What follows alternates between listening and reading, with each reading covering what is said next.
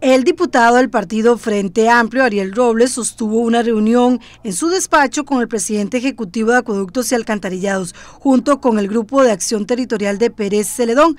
También participó representación del despacho el diputado Carlos Felipe García para coordinar esfuerzos en conjunto. Estuvieron conversando sobre la urgencia para Pérez Celedón de contar con el nuevo acueducto. Esta es una obra que se ha ido postergando durante muchos años, según indican, en detrimento de nuevos proyectos, viviendas y negocios para el cantón. Es un proyecto clave para la reactivación económica, según manifestó el legislador.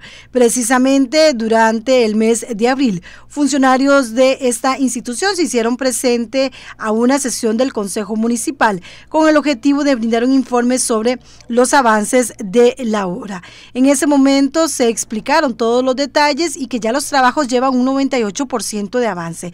El 2% restante comprende a las obras para el tratamiento de los lodos debido a que el terreno que inicialmente se tenía para ello fue destruido por el cauce del río.